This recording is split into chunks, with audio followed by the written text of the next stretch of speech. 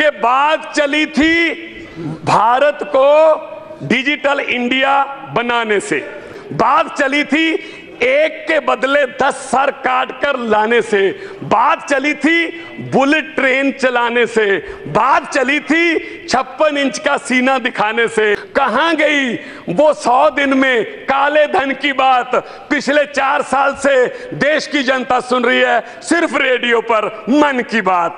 चौकीदार देख रहा है चौकीदार देख रहा है और लोग बैंकों को चूना लगाकर भगौड़े हो रहे हैं और लाखों पढ़े लिखे नौजवानों के सपने आँखों के सामने पकौड़े हो रहे हैं। अब तो अब तो साहब के ऑफ़िस से मेन्यू बनकर आता है कि हमने क्या पहनना है और हम क्या खाने वाले हैं। मोदी जी, अगले छह सात महीने में आप जाने वाले हैं। कृपया जाते जाते ही बता दीजिए, अच्छे दिन कब आने वाले हैं?